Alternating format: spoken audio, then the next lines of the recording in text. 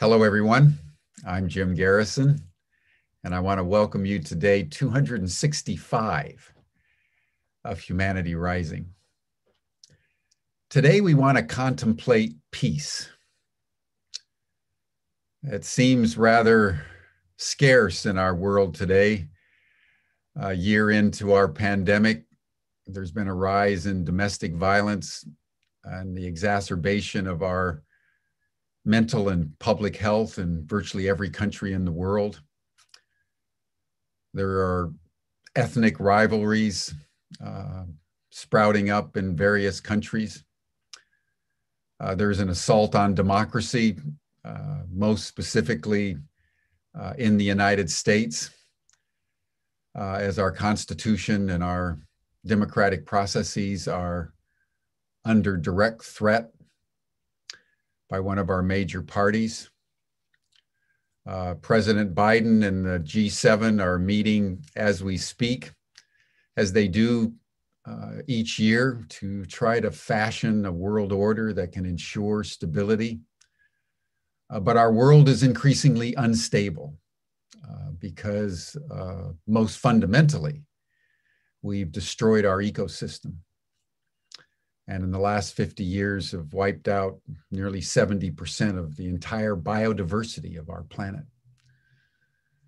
So the fragility of our world is very apparent to us, and that deepens our yearning for harmony with each other and harmony with the earth and that's the meaning of peace is harmony it's not just the absence of conflict it's a proactive way of being in the world. So, from the very beginning of Humanity Rising, we've emphasized as one of our meta themes not only the regeneration of humanity and the ecology, but the perennial wisdom of what peace means in our time.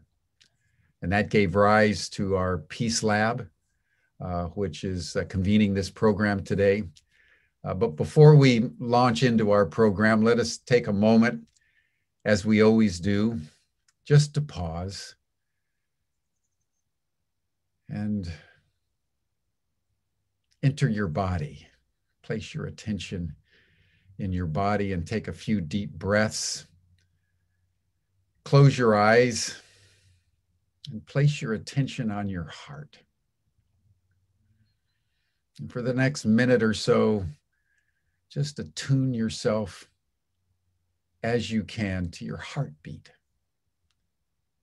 in a spirit of gratitude and deep thanksgiving that you're alive. We're all alive at this most extraordinary moment in the human journey.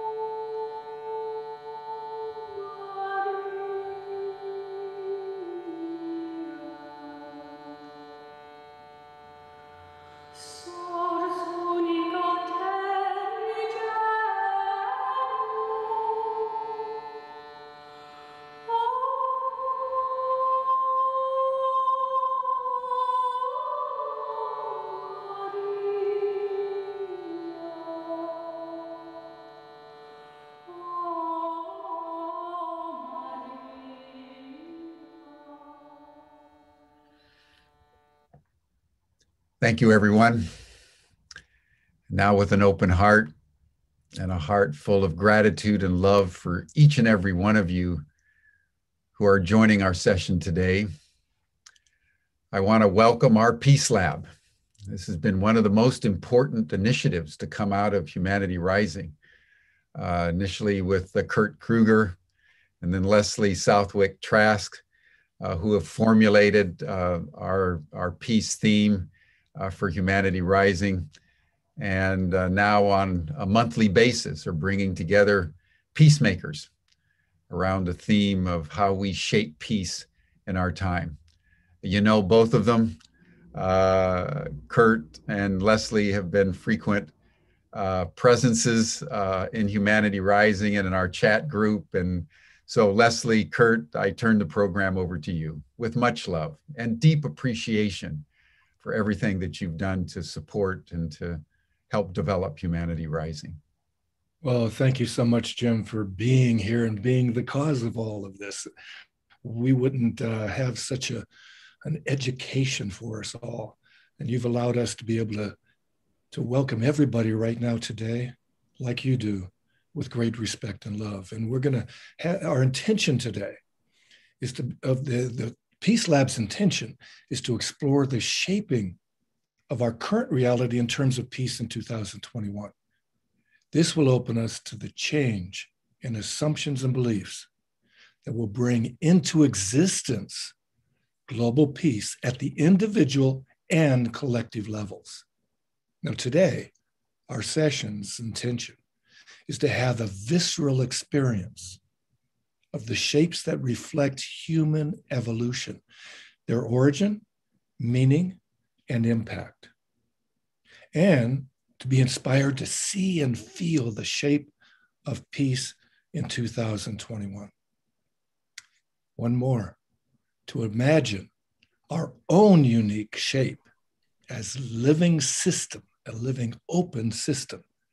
And Lesley will take it away to bring you a fascinating program. It is a practical program, so experience it today. Oh my goodness. My cohorted peace, you just bring it, like you just radiate it. And so it is such joy to be with you. I would like to dedicate this program today to two elements of where peace is most needed. And because I'm broadcasting from Canada, my first dedication is to our First Nations and all of the ramifications that are happening in the lack of truth and reconciliation in this country when it comes to the finding of the 250 15 bodies in Kamloops under a residential school. We have so much peace making to do when it comes to our First Nations and the tragedies that still are uncovered and held in secret in terms of under the ground and in the vaults of the Catholic Church in terms of what is happening and happened to our First Nations. And my other dedication is to the Muslim family who was knocked down by a truck in London, Ontario this weekend in a hate crime against Muslims.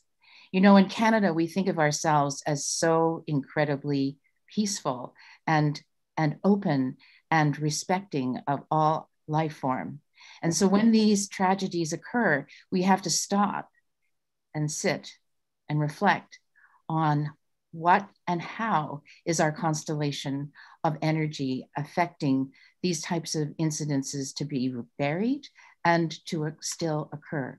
So I dedicate my um, this program to our First Nations and to the Salmon family in London, Ontario. I'm going to take a breath on that because it's important to recognize that moment. You know, Kurt, one of the things that is really incredible is that I wish we could actually just show our, our Peace Lab program preparation, all the weeks of constant conversation we have with these wonderful people that are coming in to our community. And I want to do a shout out to Dr. Tati Blackstone, who is the superwoman of our Peace Lab in this moment in time, and who has been so seminal in the creation of what we're doing in this moment and how we bring in these two amazing women. I'm going to introduce both women uh, that are going to be leading the first part of this program uh, because it is kind of hard to introduce these forces, these forces of nature. So I'm going to first start with Lois. And some of you may, in fact, recognize Lois. Lois Farfel Stark. Um, she would you have maybe seen her on NBC News. Uh, she covered tensions and transitions in Liberia, Abu, Dhabi, Israel, South Africa, Northern Ireland, Cuba, and throughout the US. She has been at the front line of covering these tensions that are we are witness to in this current moment of our history.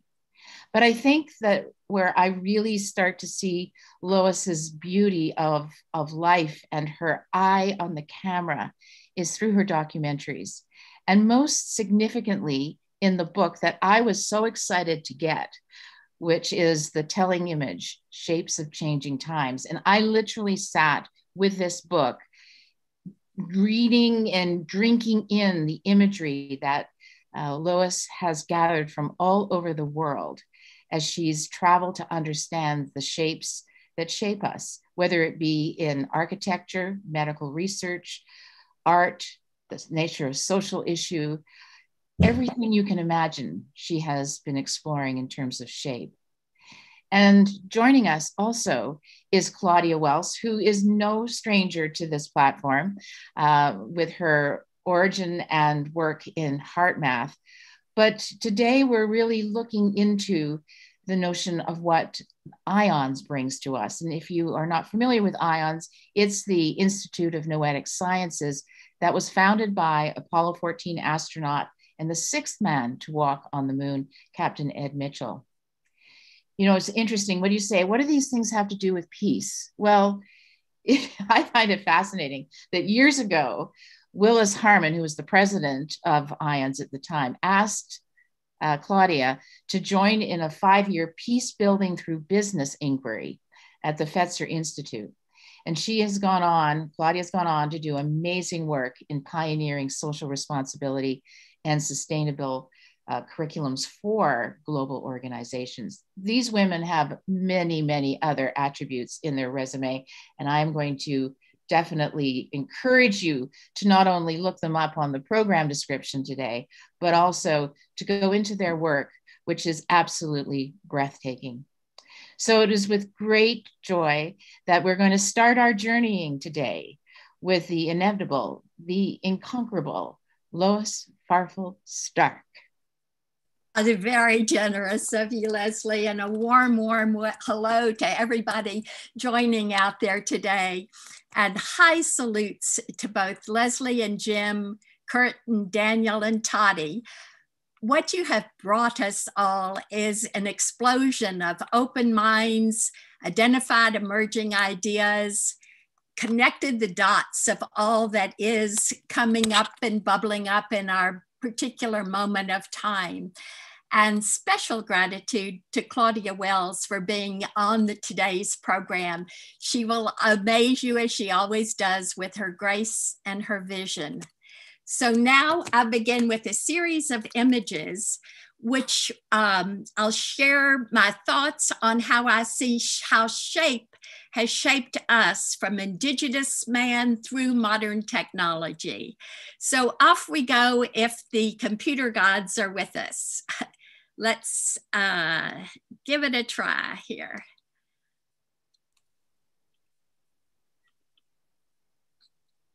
So. Looks good, Lois, you're full screen. Thank you, but it's not, okay. Now we're off. So, how do we humans make sense of the world? In something as simple as shape, we can find a key to the mental map of our era, the very shapes of our shelters, social systems, and sacred sites reveals how we organize and orient what we value, what we believe. But when the shapes shift, it alerts us that a new world order has entered.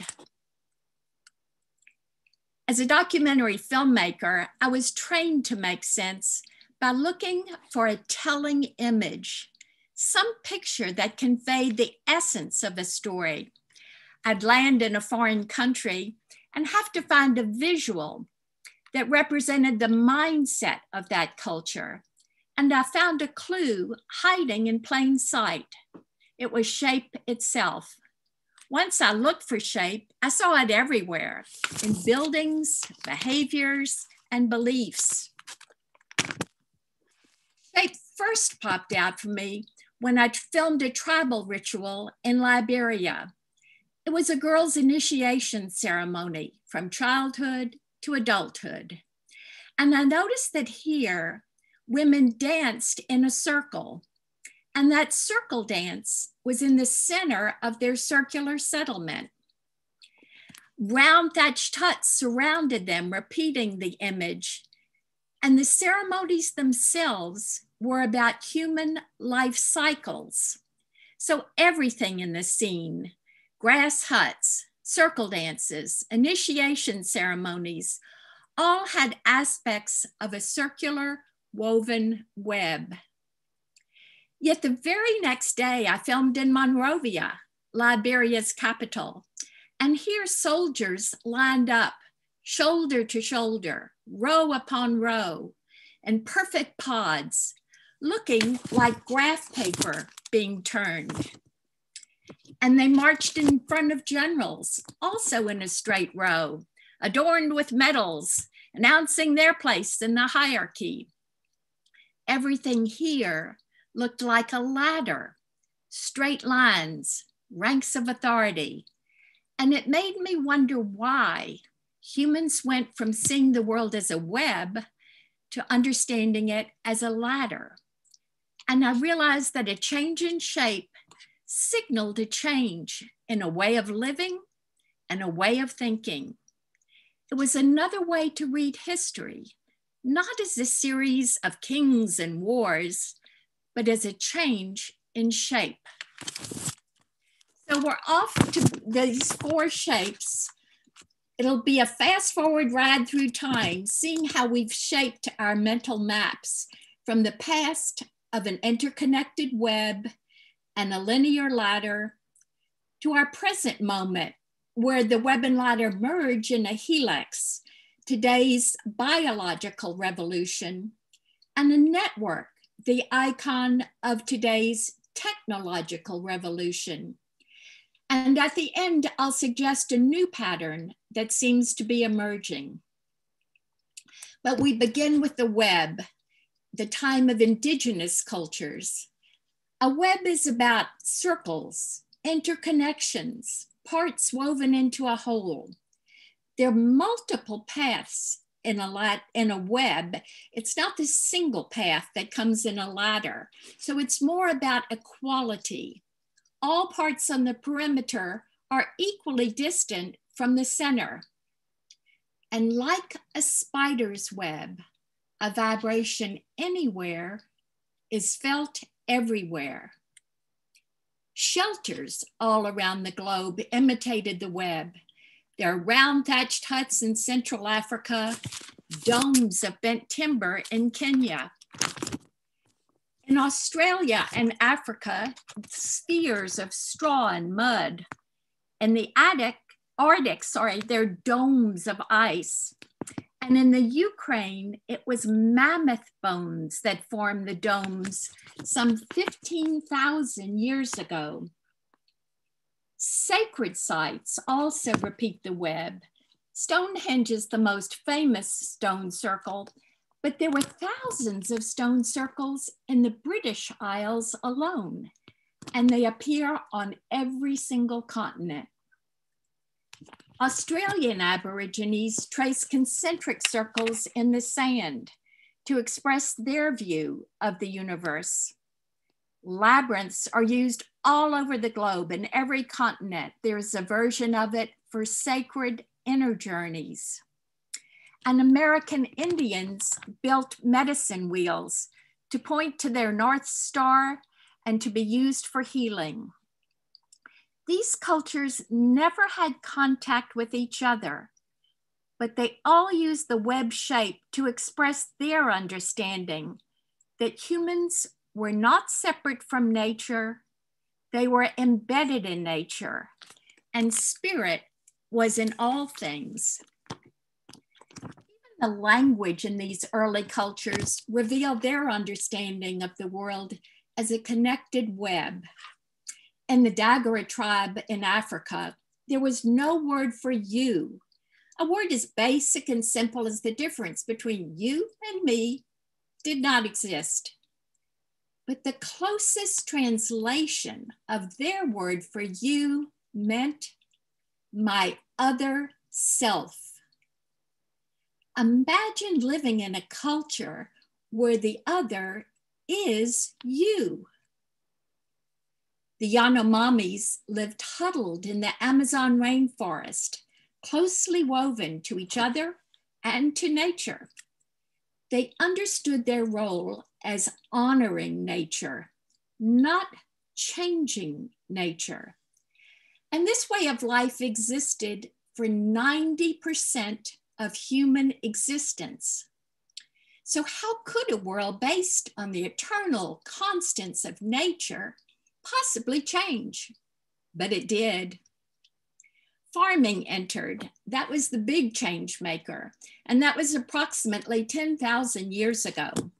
Men learned to plant and plow fields, to control nature enough to have barley sprout near their homes with no need to migrate. The first time people could survive through four seasons in one place, and farming was so successful that populations multiplied. A new order was needed to keep track of these growing populations, to count the grain and food storage, ever larger populations. So the shape shifted. And the ladder model fit the new reality of these expanded populations. A ladder is about hierarchy and measurement. Each rung is higher or lower than another. Powers at the top. It's a world of right, wrong, yes, no, win, lose. So the worldview went from meaning to metrics, from qualities to quantities, from web to ladder. Pyramids popped up on every continent as populations grew ever larger where they were. We're familiar with the pyramids in Egypt, and they literally point to the sun god in the sky. But this shape says something new and big and different. The divine is now in the heavens no longer in the earth. Pyramids appeared in Central America, and some had these rounded sides, but they still pointed up. This pyramid is Uxmal, and it was built 3,000 years after the Egyptian ones. It's the same shape without contact between cultures. In Southeast Asia, there were multiple pyramids on temple grounds. And in India, the pyramids were built at a steeper angle, had different decorations, dedicated to different gods, but they still pointed up. So, shape itself is telling us the political, social, and theological order. And in this cathedral in Milan, the pyramid is still evident, making the point even stronger with steeples and spires. So think about what these shapes are telling us. God is kicked upstairs into the heavens, out of reach, and you need a priest or a king to tell you what God is saying. Today's skyscrapers announce their place and power in the sky, as pyramids did in earlier times. This is Dubai's skyline, where the buildings are so high, they look down at the clouds. It's an eerie image. It changes our notion of basically what is up and what is down. And this is a chart of buildings that go through the ladder mentality. So it starts with Egyptian pyramids and it ends with the two uh, towers in Kuala Lumpur. But on the very far right, there is a building that's low and close to the ground, and that's Microsoft's headquarters. Its shape itself signals that something has changed, something new has entered. And it's not a coincidence that the Microsoft building is about computers. The computer is the change agent to the next, just as farming was the change agent from web to ladder times. The computer chip has ladder lines but it catapults us to connectivity. A helix actually combines aspects of a web and a ladder. It both revolves and evolves simultaneously. And as the double helix of DNA, it both twists like a web and has the crossbars of a ladder. DNA's helix is nature's way to tell the story of past, present, and future. You know your children will carry some of your genes, but you don't know what they will look like. DNA takes the past, mixes genes in fresh combinations, and passes them generation to generation. It answers the riddle of how things can recur without repeating. So in this shape, both pattern and the unpredictable are both at play. The helix shape is in architecture as well. And it's not a coincidence at the same time in the 50s that both the DNA shape and the design for this helical building in New York uh, were both being thought of simultaneously in the same decade. It's a helix on the inside and the outside. And from the inner rail, it looks like an apple being peeled in one stroke. It upends our expectation and breaks the mold of the rectangular thinking we've been so familiar with living in. There's no flat floors, no flat walls, no square galleries. It changes the very way we orient. In Singapore, this grass roofed building twists like a helix, but inside is a multi storied glass building. Yet the building disappears to the eye as if it's camouflaged on the campus by this green roof. In China, each floor of this helical apartment building twists so that every apartment can catch its own direct angle to the sun. Now picture the double helix with all of its crossbars and picture it bursting open. You have a network the shape of today's technological revolution. Networks are wild with reverberation, interconnection, possibilities. Powers in the hubs, but they're multiple hubs, not the concentrated power at the top of the ladder. The more hubs there are, the more power it has. But if you lose some hubs, the system keeps on going. So it's not like a toppled ladder. Networks may seem like a web, but the earlier web had flatness and one center. And the networks link endlessly in all dimensions at once, constantly reverberating. And we all know they master our daily lives how we rely on the internet to shop, to bank, to socialize, to learn. It's even changed the way we think. Network thinking has replaced linear logic. The current generation thinks by hyperlinks, no longer in progressive order. And the network thinking will affect the minds of children in ways that we cannot imagine. This is the exterior and interior of a new building in New York called the Vessel. It's in the Hudson Yard neighborhood, and it's a gathering place to interact, like the Old Town Square. But this gathering place is a network of pathways filled with choices to go up or down or right or left. And these beautiful shapes are all bacteria colonizing, but they colonize in a wild variety of network formations. In response to stress, bacteria create partnerships. So there's a lesson here.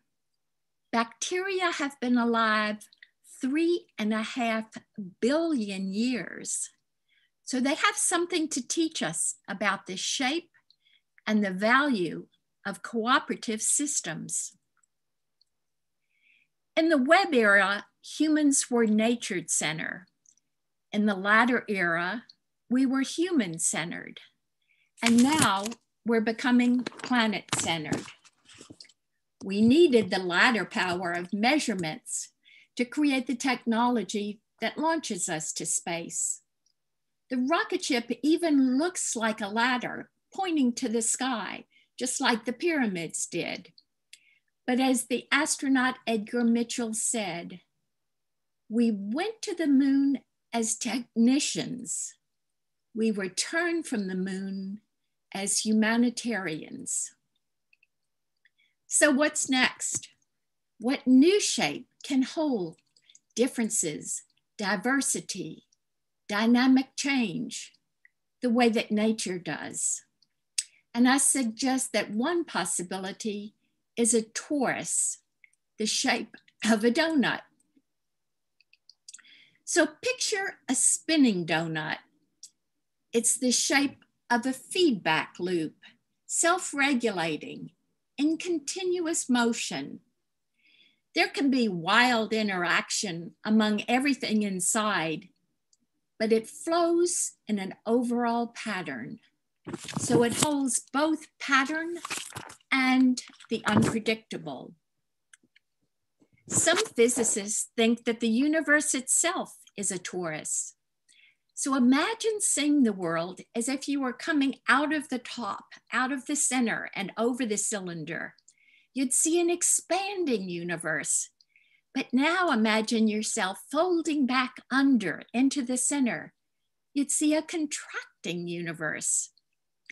The shape of the system holds opposites, expansion and contraction.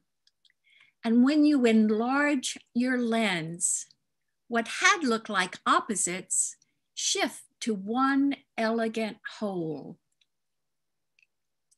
This donut shape is popping up in architecture as well. This is a hotel in China, built as an upright ring it's both above the water and below the water. Its interior rooms have exterior views. If you wander inside, your view continually changes. So living in new shapes reshapes our thinking. A plastic exchange factory in China is also built as an upright ring, this time on land. And this is the new British intelligence gathering building outside of London, kind of like our CIA building. But gone are straight lines, flat walls, even a sense of turning right or left disappear. The shape encourages communication between departments and encourages looking at situations through multiple perspectives. But humans did not invent this donut shape. Nature beat us to it.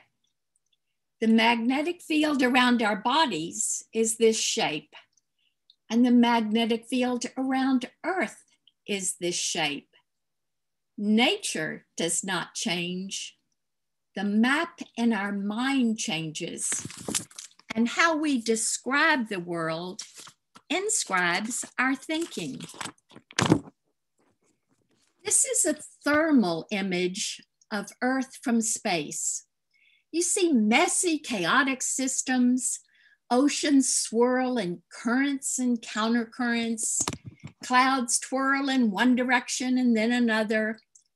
But you see that overall, nature systems are in balance. The view from above shows us that what had looked like opposing forces become complementary forces in a larger and larger whole.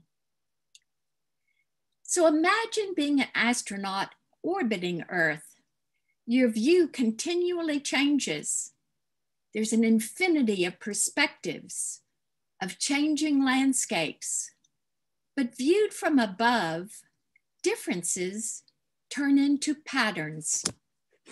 From this perspective above Earth, what had seemed chaotic snaps to the beauty of the big picture.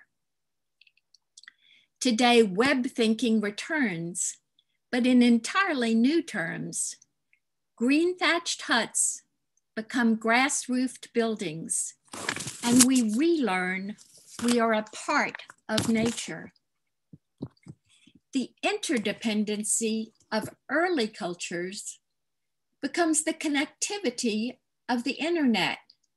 And we relearn what the Dagara tribe knew you are my other self.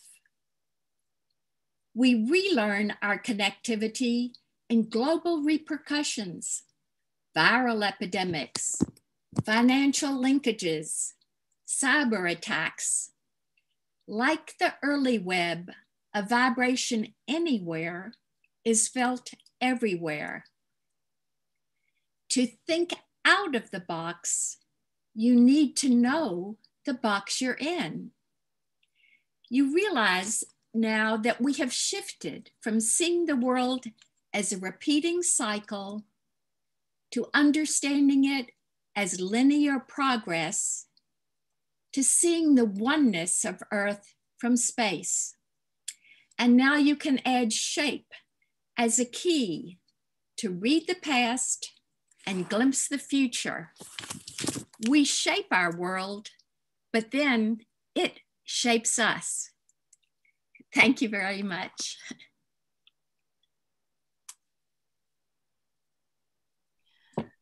Lois, whenever I see these images, I'm just taken in to our sense of history and who we are and who we're becoming. And I just want us to take a, a moment because you've shared with us such powerful imagery. If we could just take a moment to breathe in and just come to recognize the shapes that are influencing us in this moment, each of us individually. What shapes are forming themselves around us that catch our eye, that inform our way of thinking.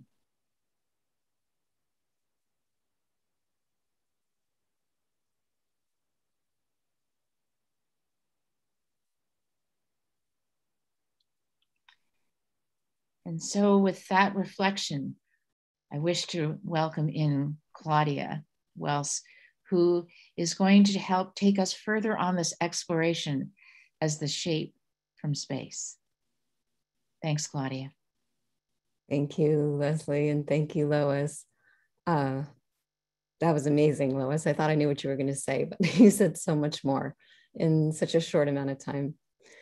It's great to be back with everyone on Humanity Rising. I was actually surprised to realize that I was first on Humanity Rising a year ago. It was day 21 and day 30 in June 2020. Day 21 was on interconnecting the elements of global transformation. And day 30 was on the science of heart coherence and projects to scale coherence from personal to social and planetary systems. So, this program today, day 265, I think, feels to me a little like if day 21 and 30 had a baby. it's not the math, the math doesn't work, but the topics do. And I'm so grateful to have been invited to co create with the Peace Lab and with Lois Stark. by going a little deeper into the expanded view from space and what it has to do with the shapes that shape us, especially in the context of global transformation and heart coherence.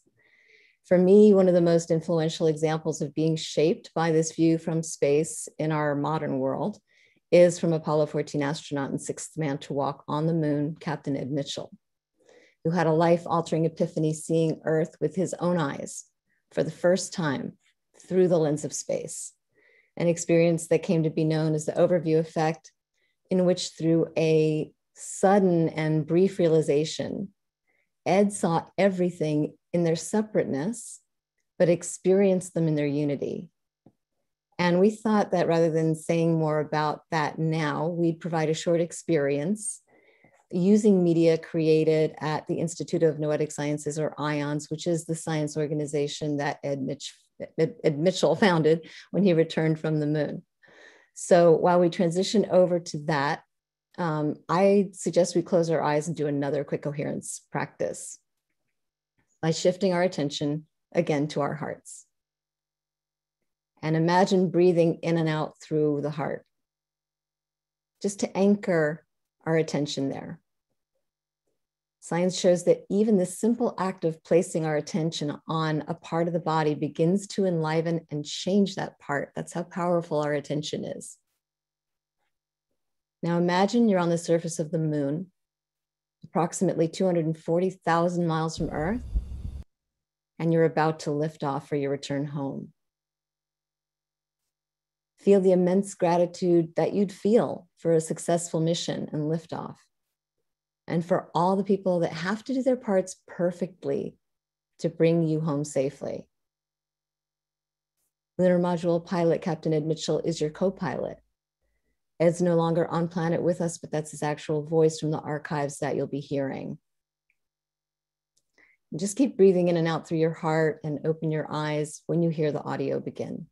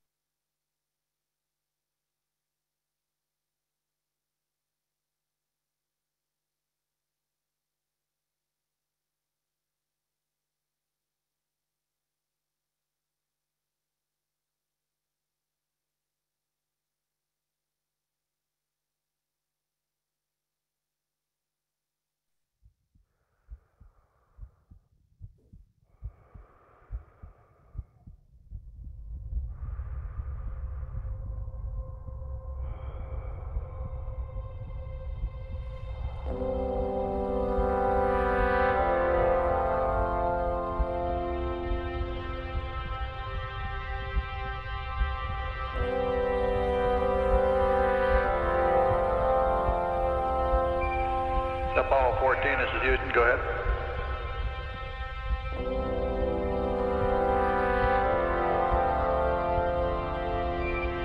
This is Apollo Control standing by.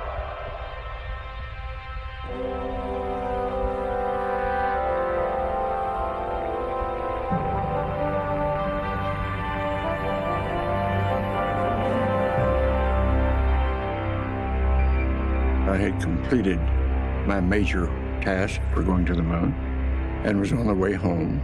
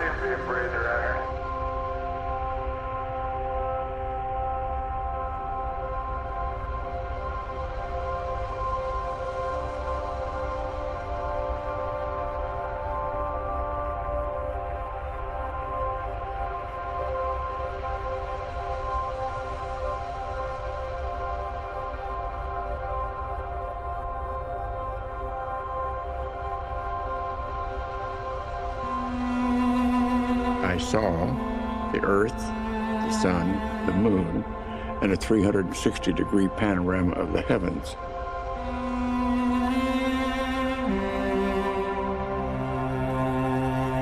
The magnificence of all of this. All matter in our universe is created in star systems. The matter in my body and the matter in the spacecraft and the matter in my partner's bodies was the product of stars. We are stardust, and we're all one in that sense.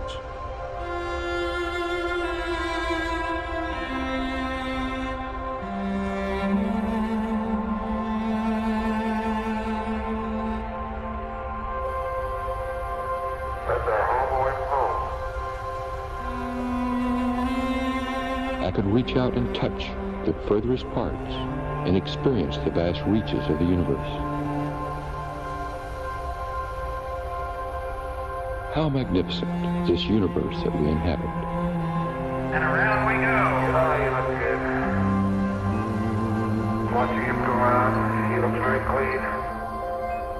I was aware of being an integral part of the entire universe for one brief instant.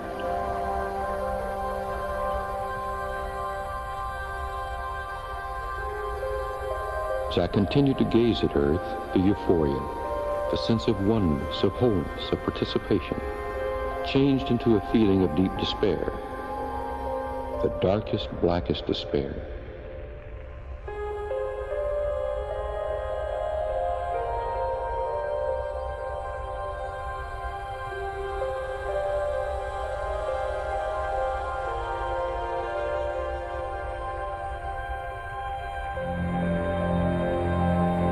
Blue atmosphere and white clouds were my people, the crew of Spaceship Earth, in disharmony and disarray.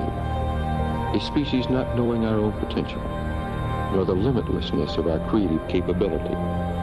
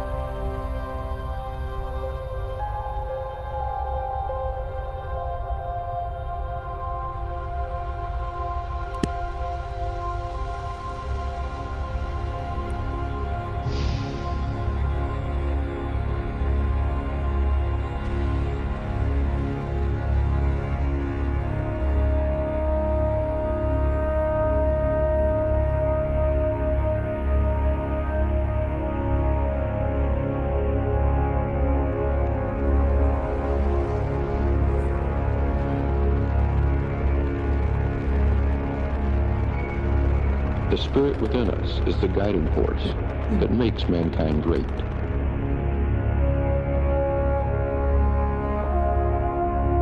For Earth to survive as a planet, we, humankind, must rise to the challenge of learning to be stewards to Earth and to each other.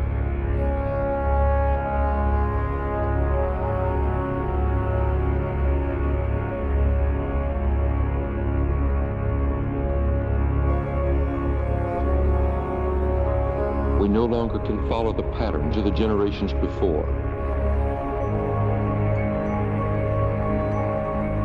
Who believed because we were few in number, and the earth was so large that its resources would last forever.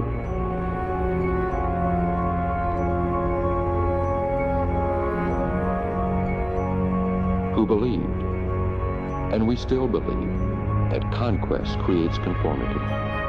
and threat produces peace.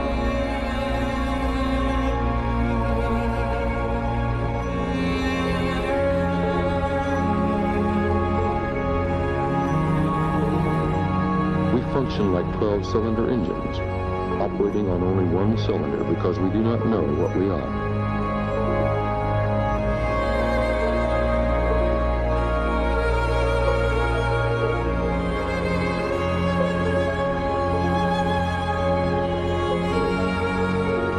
We are limited only by what we believe about ourselves. When we change our belief, we will see ourselves differently. Often say, seeing is believing, when precisely the opposite is true. Believing is seeing. To become the creative, intelligent, loving creatures of the universe, that is our true reality.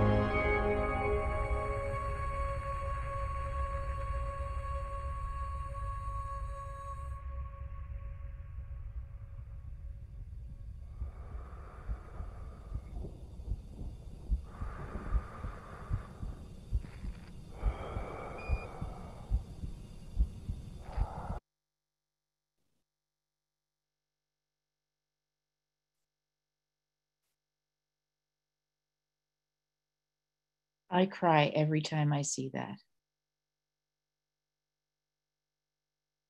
Absolutely breathtaking and life affirming.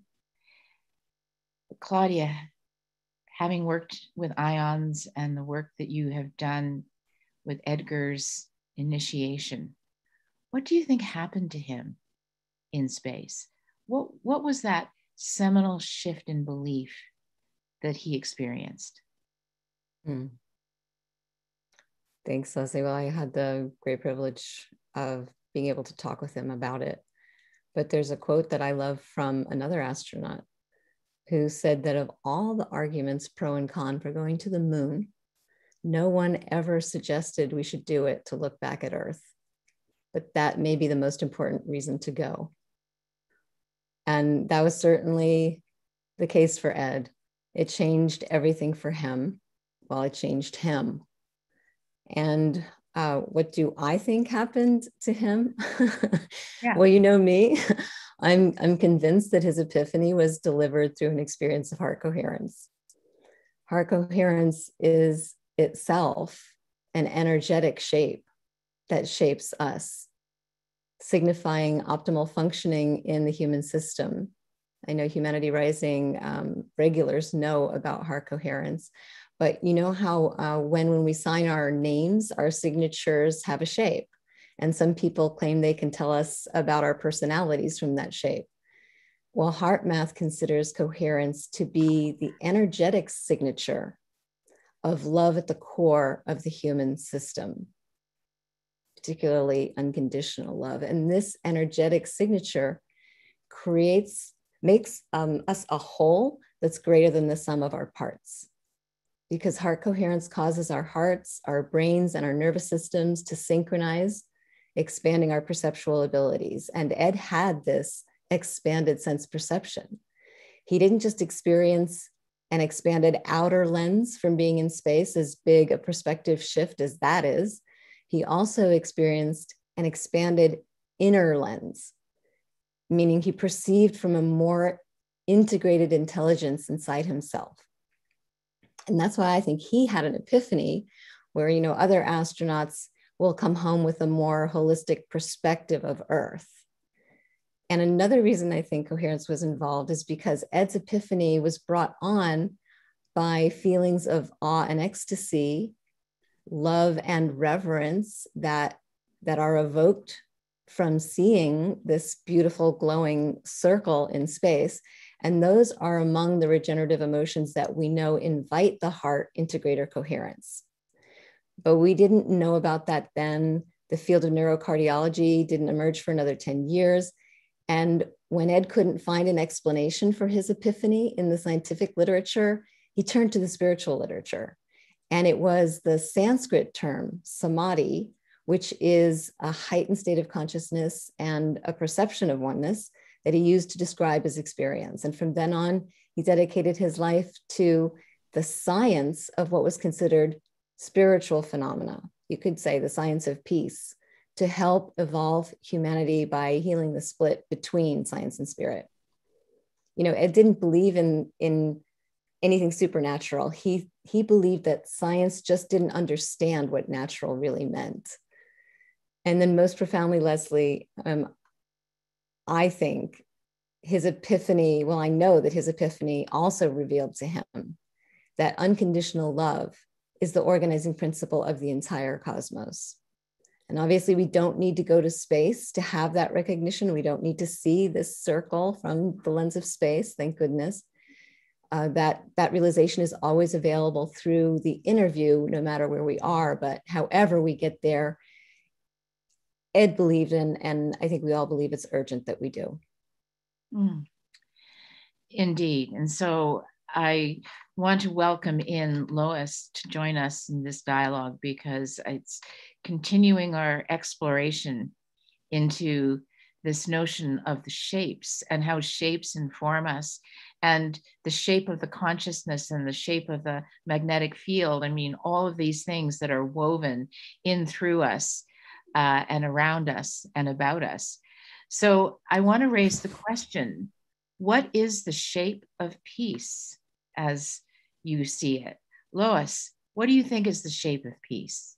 I think there are multiple shapes, so I'll give you maybe four uh, different versions that I've come up with, but I know for each person it will be its own variation, uh, and again, variation within pattern.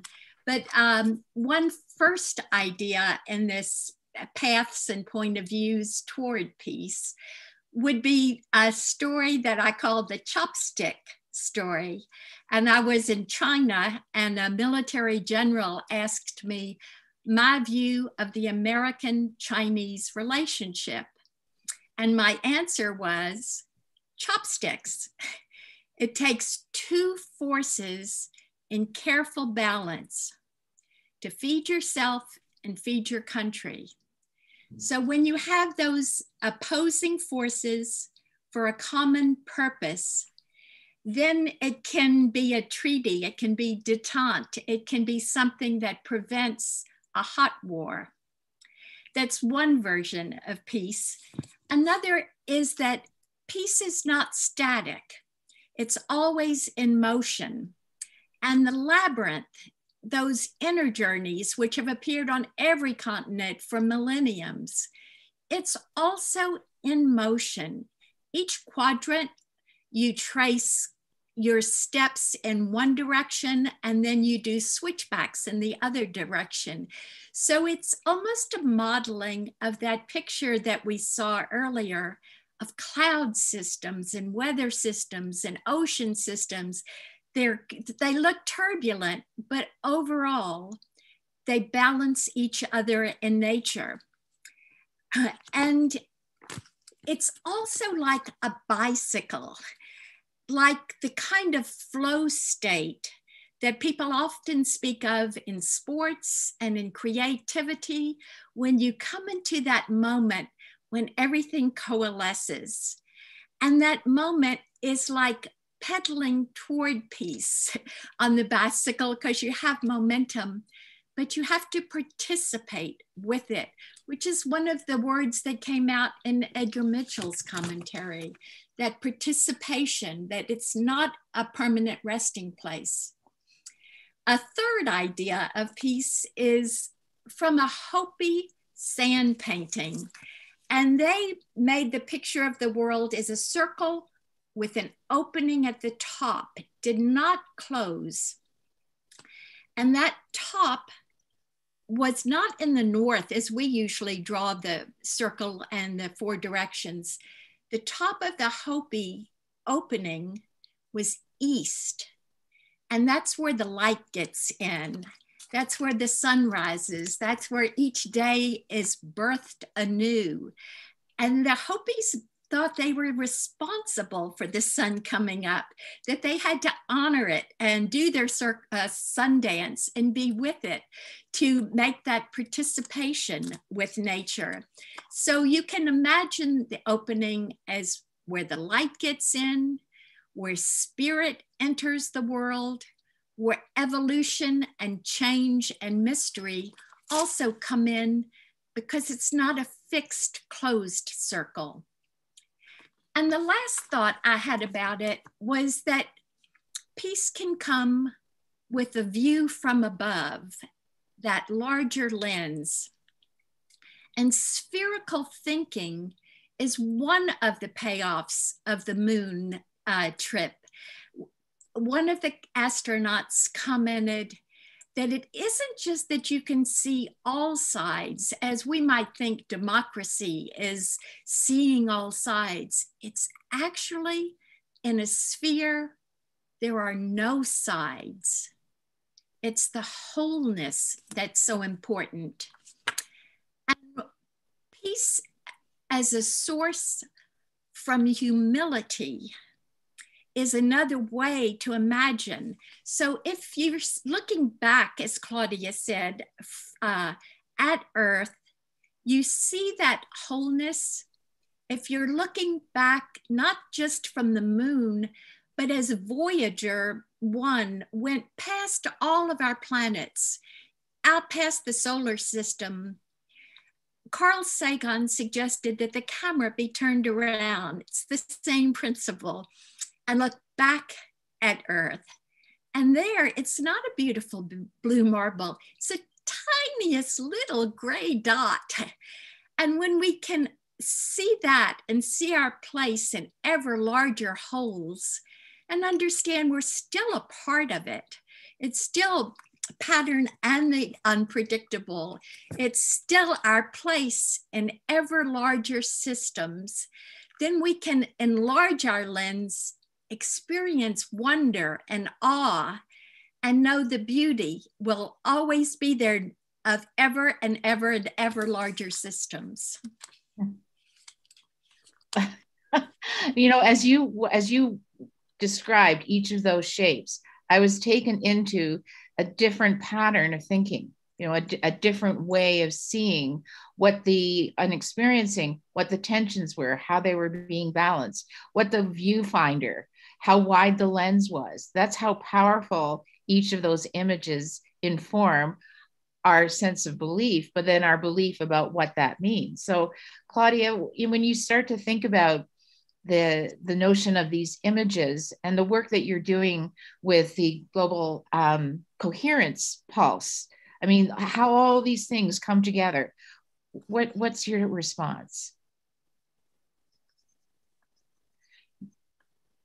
Yeah, muted. I have a general response, and then, if I may, I have a specific response for each of those shapes that Lois shared.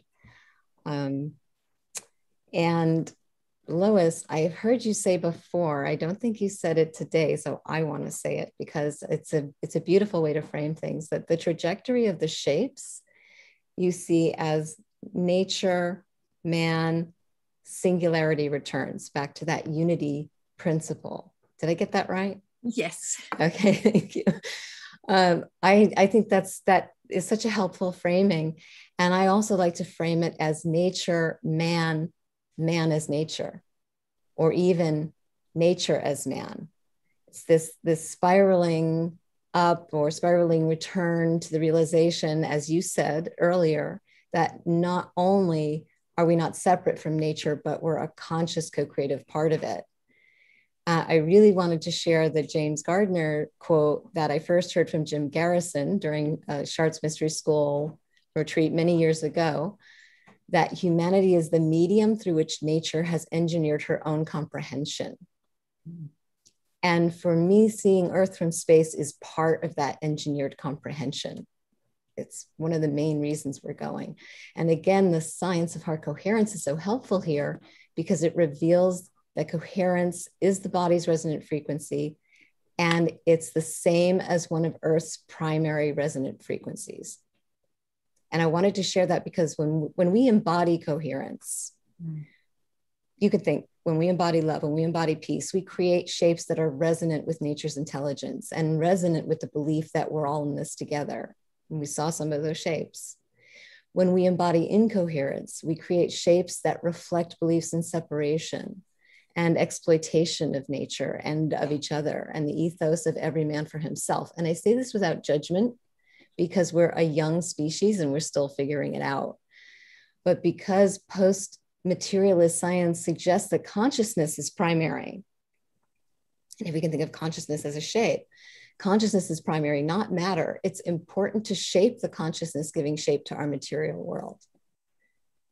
And um, looking at those, those um, shapes that you just raised, those shapes of peace, Lois.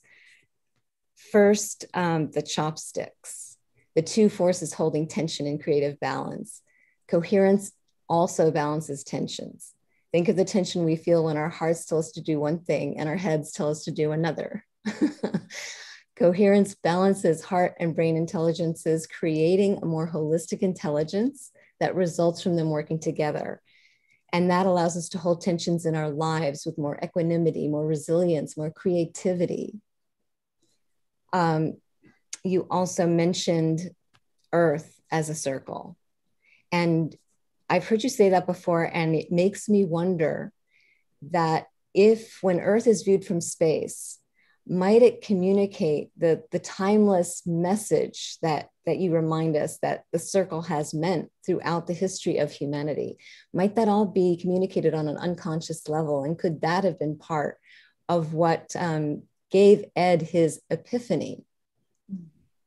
The labyrinth in flowing motion, coherence is a dynamic stability, like a vital piece allowing life force to flow through a system, healing fragmentation, and creating an undivided wholeness in flowing motion, which I actually think um, is uh, David Bohm's definition of a torus.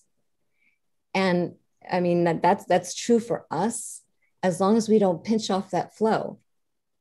The classic, um, the art of peace, says that past, present, and future are all contained in the life force. And I think that's how Ed felt so connected to the entire cosmos. I think that's how he downloaded the whole story.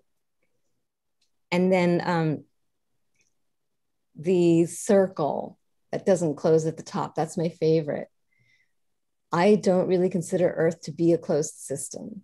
I mean, yes, our physical resources are limited and need to be respected and used regeneratively even when we start mining the moon and asteroids for resources, which we're planning to do. But more to the point, Earth's never been a closed system energetically.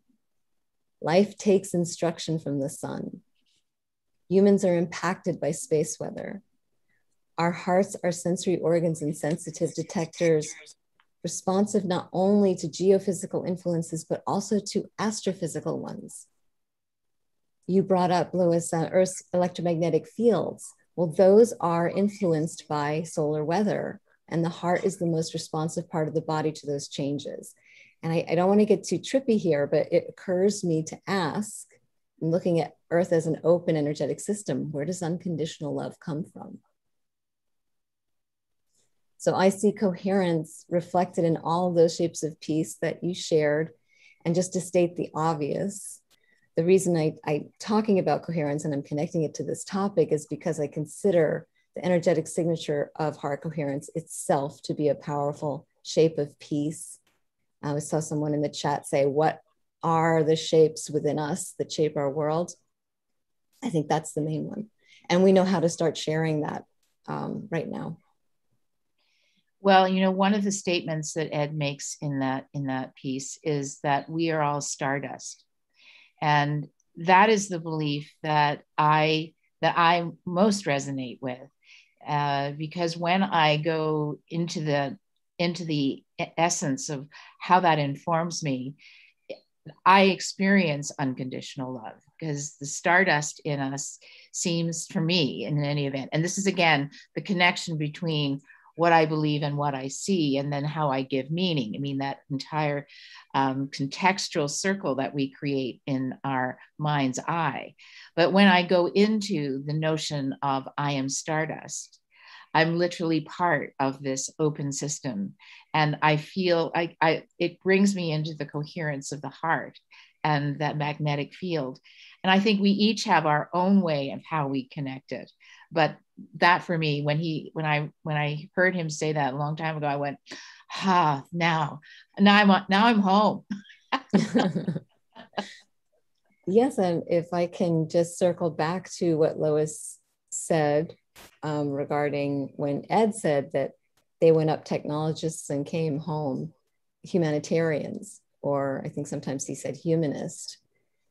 Uh, the overview replaced his ordinary awareness of Earth as being comprised of separate nations and races in a meaningless universe with the holistic view of one people at one with the planet, with one destiny and at one with the universe. And it also moved him as you say, from a reductionist view of himself to experiencing himself not just in the universe, but the universe in him. So yes, he was star stuff, and and he fundamentally believed that his experience um, of unity, this this direct experience of unity, foreshadowed a new wave of evolution in human consciousness, uh, and that just directed the rest of his life. That conviction and you're continuing his work. And I just want you to have a moment to share with us the global coherence pulse because I think it's it's a really powerful way for us to to be in this connection. Well, just real quickly, I think that that was day 30 on Humanity Rising. We, we spoke with Rollin McCraty, and you know I'm part of the Global Coherence Initiative, and the Global Coherence Initiative has been working on the science and the technology of how to um, scale heart coherence from personal to social and planetary systems and um, building a network of sensors so that we can actually see the shape of peace, the shape of our collective peace in the electromagnetic fields of the planet, and also in other ways, in a, a growing number of ways. And while that's been happening, now the Pulse has come up to help build the, the social network to help build the critical mass of humanity, uh, creating coherence in our hearts that the sensors can actually pick up. So it's like we're creating these personal shapes, these personal inner shapes that our outer technologies can pick up and reflect back to us. Because unfortunately, we still live in a world that, um, Ed said it, we think seeing is believing when actually believing is seeing. But right now, we need to um, see to believe. So that's what we're doing. We're, we're building a critical mass of people to shift the whole system. Amazing. Lois, anything that you'd like to add uh, before we start to explore the shape within us? Uh, just one more qualitative thought on that thin membrane that sustains us is that it's porous. Mm. And as you were speaking of the sun's uh, electromagnetism coming to us, and our responsibility toward that porous nature to keep it in its protective source, keep it in its communication source. I think uh, without knowing all the technology, that's probably what the Hopis had in mind. we would call it a porous membrane, they called it the open circle. And the sphere with no sides. Amazing. Well, thank you so much, both of you, for such beautiful journeying. And I'm now going to welcome in Dr. Daniel Riders who his bio says that he is a cardiologist who happens to be a shaman, but I see Daniel as a shaman who happens to be a cardiologist. Uh, because uh, Daniel's been a part of the Peace Lab since its inception, and he always brings with us and to us a journeying of such qualitative experience that I am delighted that he's joining us here today. And so, Daniel, if you can turn on you're, there we are. Um, he heals all over the world and very much focused in Palo Alto or Silicon Valley.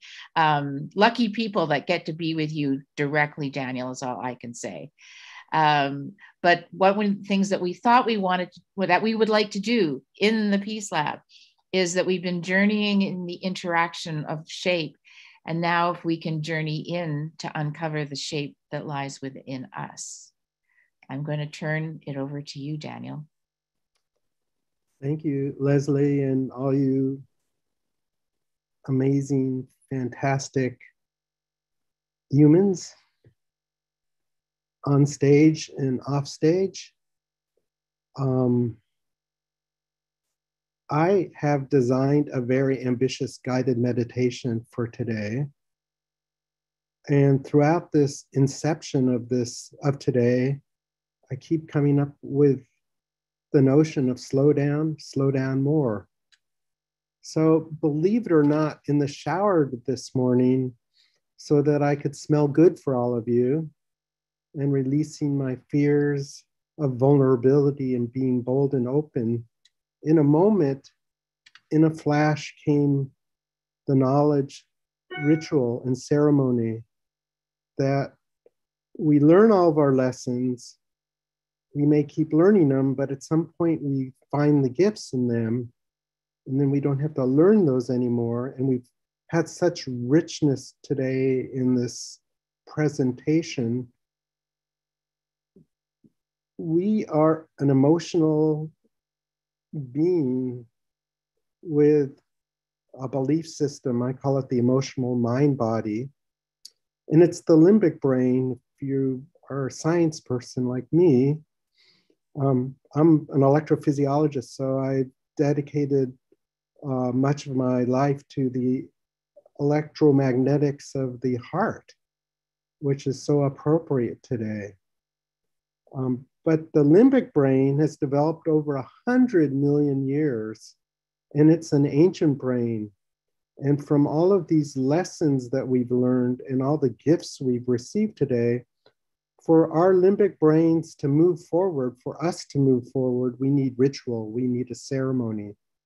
And so instead of moving quickly through all of what I want to do with great ambition, I'd like to slow it down and go into ceremony, into ritual.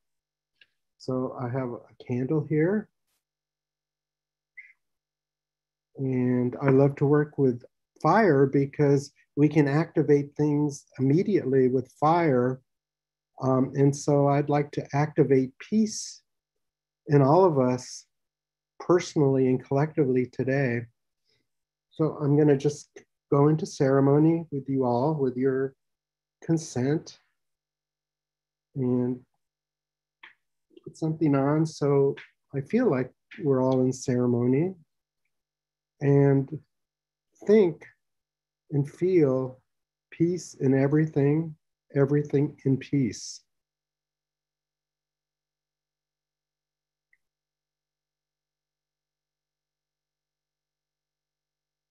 I'm going to close my eyes now, and I invite everybody else to close their eyes.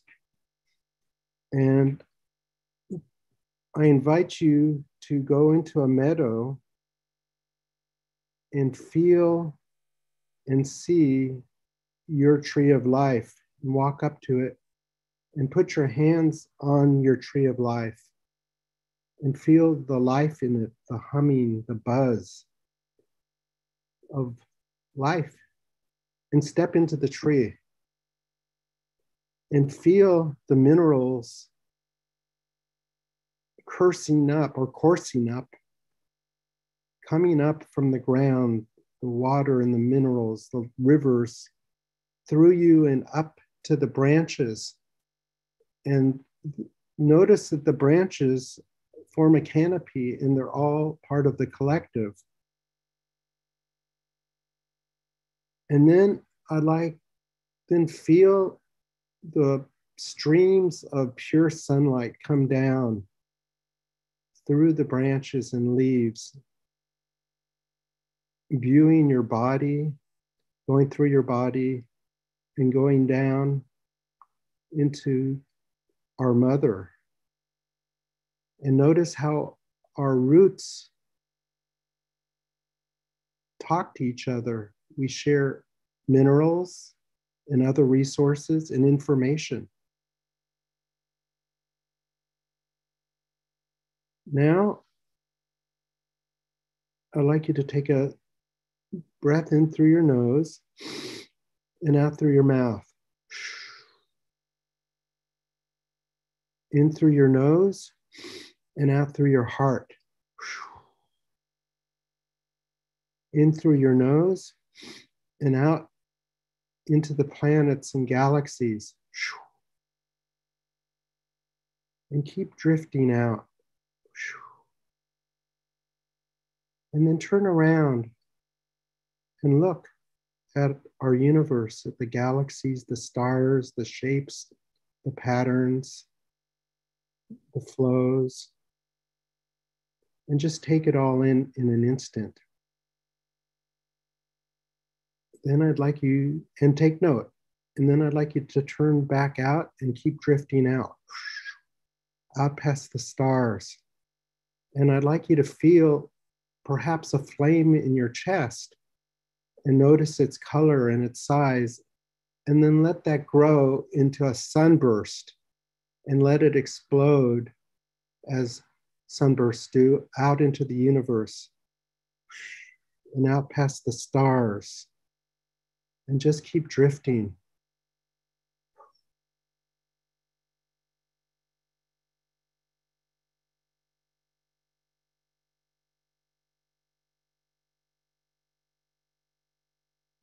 And then bring in curiosity and look around for other sunbursts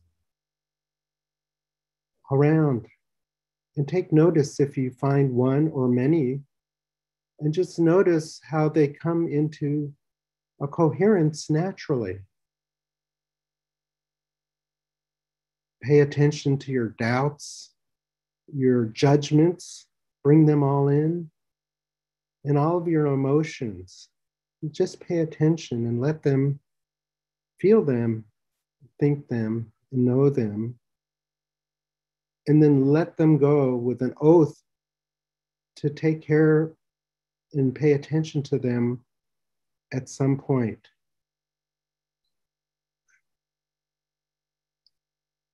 Peace in everything, everything in peace.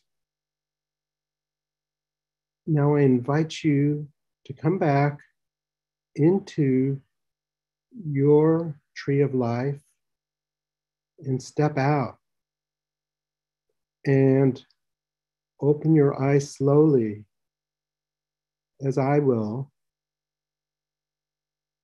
And at some point today or tonight, I'd like you to do a ritual ceremony. This seals the deal on all these teachings and gifts.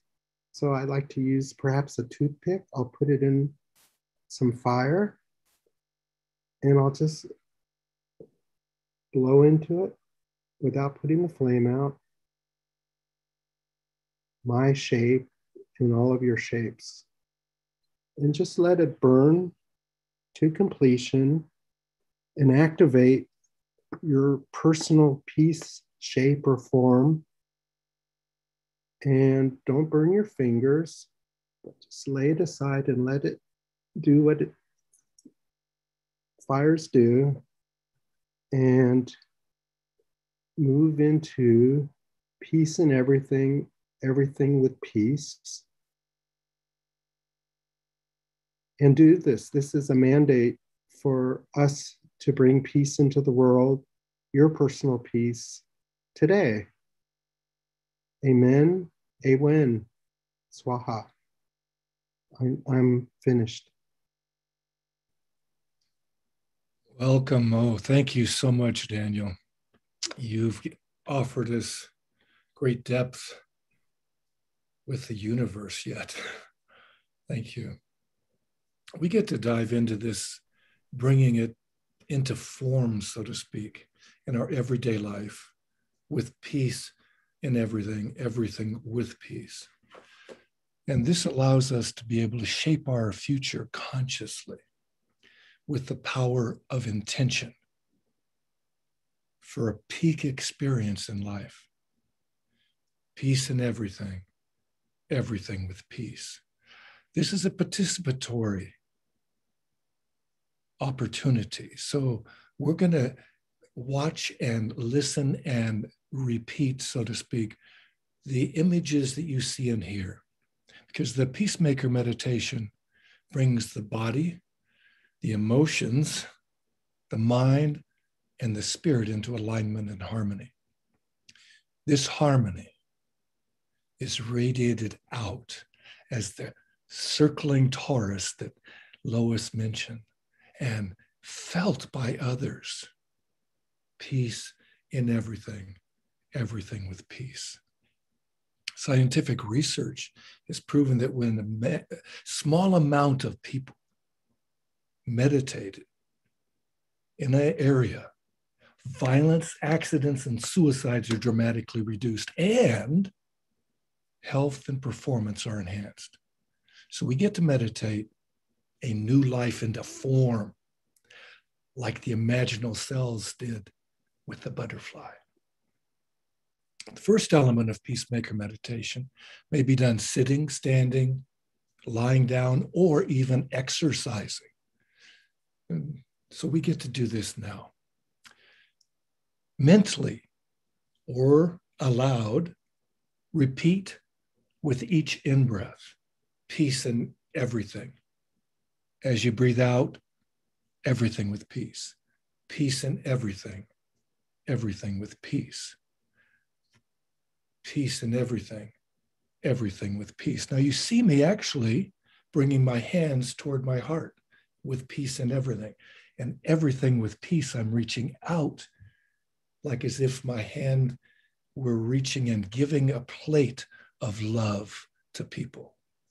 Peace in everything, because everything inside gets peaceful. Everything with peace. Peace in everything. Everything with peace. At your own rate of breathing, we get to do this. The rocking forward and back allows us to bring that inside and share it outside, as Daniel said, in a ritual form. We rock back and forth like people in front of the wailing wall. But it actually works inside more too. And you can look up the physics of that if you'd like. Peace in everything, everything with peace. Peace in everything, everything with peace. We can do this in any language, everything with peace. Peace in everything. Whatever language you speak at any time of day, if there's a little bit of an upset that happens, stop and touch your heart with peace in everything, everything with peace.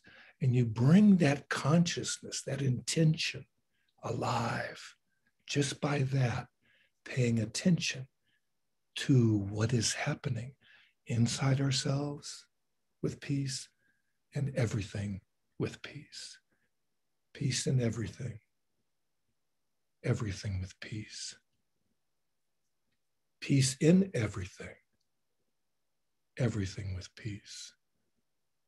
Simple practice that will change the world because as below or as inside goes outside, that resonance, that harmony that is expressed in heart coherence, bringing that peace in the heart and sharing it. It radiates around the world. Look at the research in HeartMath and find lovers on one side of the planet meditating at the same time. Their hearts come into the same coherence. And then, long enough time meditating together like that, they resonate with the planet's vibration. Imagine bringing peace in everything, everything with peace. We are so blessed to be together at this time in life, this time of transformation. And this is brought about by everybody's loving attention to that space of consciousness and love within. And I'd love to send you off with all my love, but it's not my love, it's our love. So we welcome you and send you off with great respect and love. Now I pass it on to Lesley. Well, I'm just rocking here and uh, radiating the beauty of what you've just shared.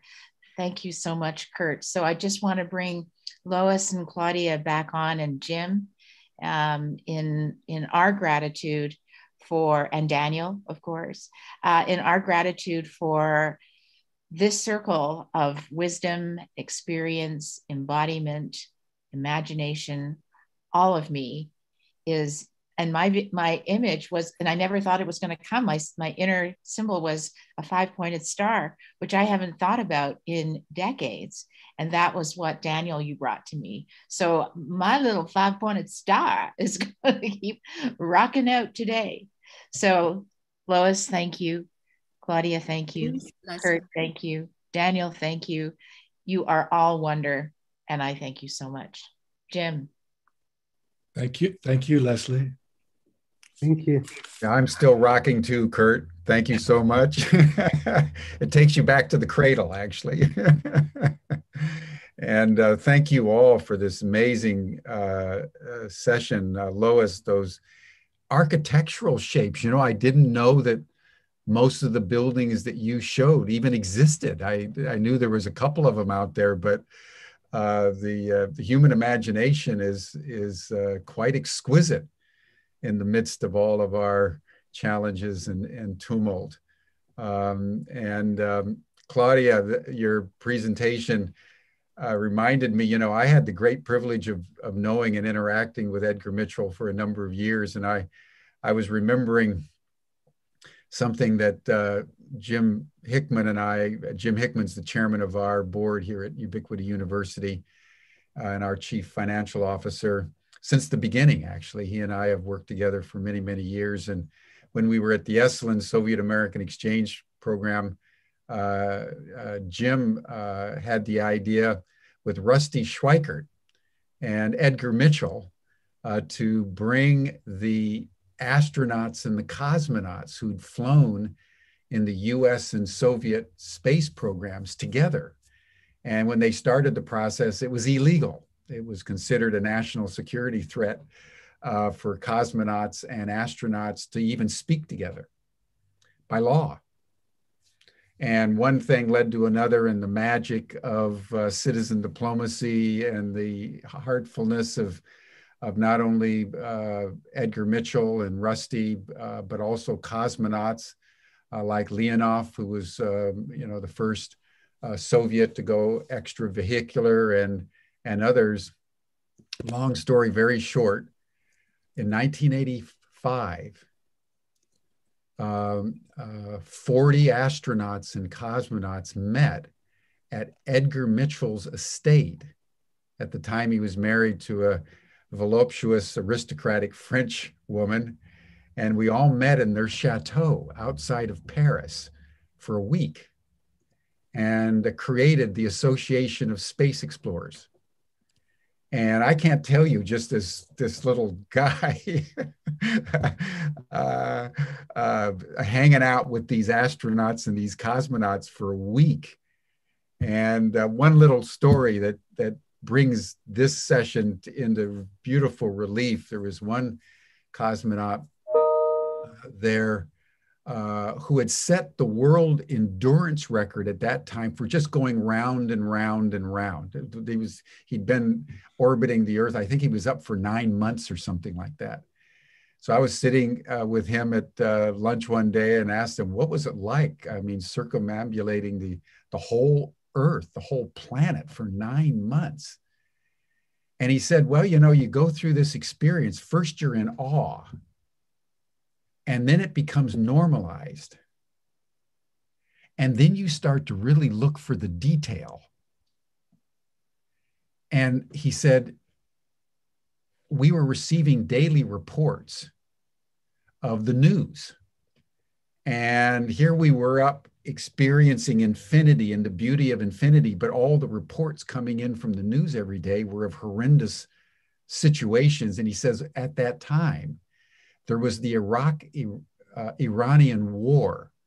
Uh, if you remember uh, that in the early 80s, and um, the Iranians were sending out children as mine detectors and thousands of Iranian kids were blown up in the deserts between Iran and Iraq. And he says every time I would go around the world, every 90 minutes or so, I'd look at the Middle East and I would look at Iran and and uh, and I knew that kids were being blown up.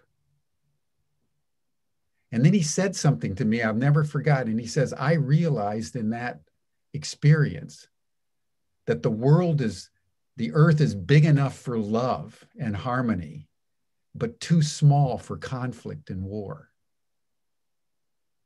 And so I just wanted to bring that story in just to thank all of you for this contemplation of the shape of peace, uh, because I think it's it's so uh, profound uh, in our inner being tortured by our external environment. And yet, and this is the beauty of your meditation, Daniel, and what you brought in, Kurt, you know, no matter what we're experiencing, the body wants to pray.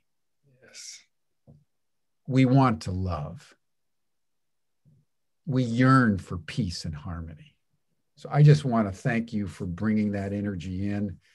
Uh, and um, uh, every month we try to make people aware of the uh, Global Coherence Pulse. I joined last month uh, that Claudia and Teresa Collins and and Rollin McCraty and various others uh, at HeartMath and IONS are convening every month to join with people all over the world who are just taking a moment to come into coherence with one another. I can't think of a more beautiful, healthy, and honorable and noble thing to do. So, Claudia, I particularly wanted to thank you for uh, helping to birth the global coherence pulse because it's it's one of the few things that human beings do on a regular basis that unites us all as one.